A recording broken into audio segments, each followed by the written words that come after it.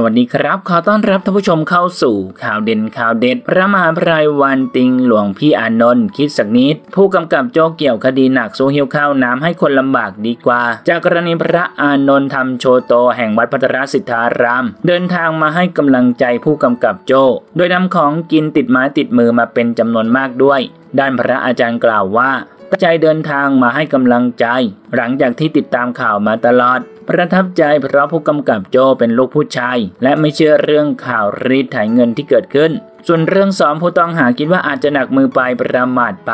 จนทำให้ผู้ต้องหาถึงแก่ชีวิต ก็ไม่ได้เห็นด้วย แต่บางครั้งงานของผู้พิทักษ์สันติราษฎร์ทฤษฎีกับภาคปฏิบัติมันก็สวนทางกัน ผู้กำกับโจจะว่าดีก็ไม่ได้ดีเต็มร้อยหรือว่าดีเต็มร้อย เพราะคนเราเกิดมาไม่มีใครดีทั้งหมด และไม่ได้ชั่วทั้งหมด แล้วแต่มุมมองของแต่ละท่าน ล่าสุดพระมหาภัยวันวระวันโนแห่งวัดสร้อยทองกรุงเทพมหานคร ก็ได้ออกมาโพสต์ข้อความแสดงความคิดเห็นผ่านทางเฟซบุ๊กฝากถึงพระอานนท์ความว่า หลวงพ่อครับเอากับข้าวไปช่วยคนที่ลำบากกว่านี้เถอะครับ ผู้ต้องหาที่หลวงพ่อไปเยี่ยมให้กำลังใจ